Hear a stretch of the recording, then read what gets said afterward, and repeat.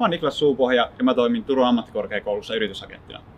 Mä opiskelen tuotantotaloutta toista vuotta.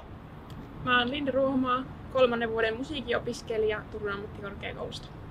No, mä oon nyt reilu vuoden ajan toiminut yrittäjänä itse, itse ja tota, täällä kulttuurialalla niin monesti se toiminta on yleensä vähän yrittäjämäistä, vaikka ei olisikaan yrittäjä. Että, että monesti sitten se työskentely on keikkoja ja on opetusta ja se tehdään hyvin yrittäjä- tai sitten freelancer-pohjaisesti. Mun tausta on startup-yrittäjyydessä, jossa mä oon ollut parissa eri startupissa perheen kanssa mukana. Sen lisäksi mä oon ollut yhdistystoiminnassa, joka vastaa hyvin paljon yrittäjyyttä. Um, mä oon suorittanut työharjoittelua tietysti omassa yrityksessä, niin sieltä, sieltä on opintopisteitä sitten saatu. Ja tota, sit lisäksi, lisäksi sitten bisnesmentoreiden kanssa myöskin vähän ollut kehittämässä omaa, omaa liiketoimintaa, niin siitä, siitä sitten myös opintopisteitä.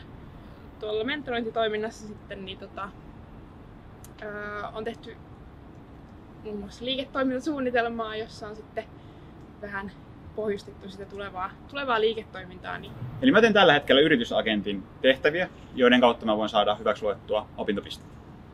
Yritysagenttina toimiessa mä oon saanut todella hyvän verkoston rakennettua. Mä oon päässyt osallistumaan erilaisiin seminaareihin ja koulutustilaisuuksiin, joista saa todella merkittävää hyötyä alan opintoihin liittyen. Sen lisäksi, jos mulla herää kysymyksiä, niin mulla on koulun kautta tosi hyvät mentorit, jo- jotka antaa hyvän vastauksen kaikkiin kysymyksiin. Yritysagentin tehtäviin kuuluu ensimmäisenä olla yhteydessä kanssaopiskelijoihin ja kertoa heille, mitä kaikkea Business Club voi tarjota heidän yrittäjyyteen ja opintoihin liittyen. Ja toiseksi kehitetään toimintaa heidän toiveiden mukaiseksi, että he saa varmasti kaiken sen avun, mitä he tarvii opintojen ja yrittäjyyden edes auttamiseksi.